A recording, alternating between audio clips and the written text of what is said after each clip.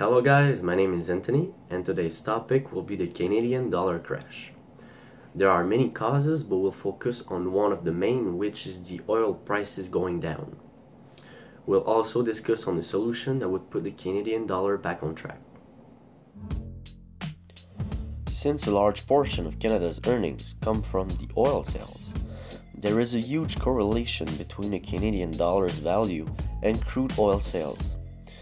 The oil industry impacts more than 10% of Canada's income, and most of the exportations, 97% to be precise, are made to the US. It is important to note that the oil's price is made in US dollar to simplify the trading of this resource worldwide. To make it simple, when the oil prices are high, there is more US dollar going in Canada's economy. The opposite occurs when the oil prices are going down.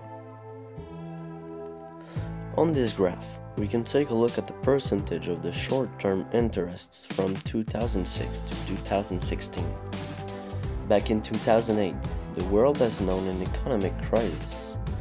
That is why there is a huge drop in the short-term interest percentage.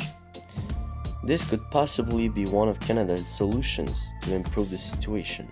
But why? It is simple. Since the Canadian dollar's value is lower than the US dollar, you, you get more Canadian dollar for the same amount of US dollar.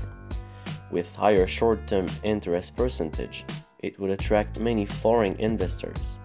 More money in Canada's economy means a higher Canadian dollar value. Simple but tricky.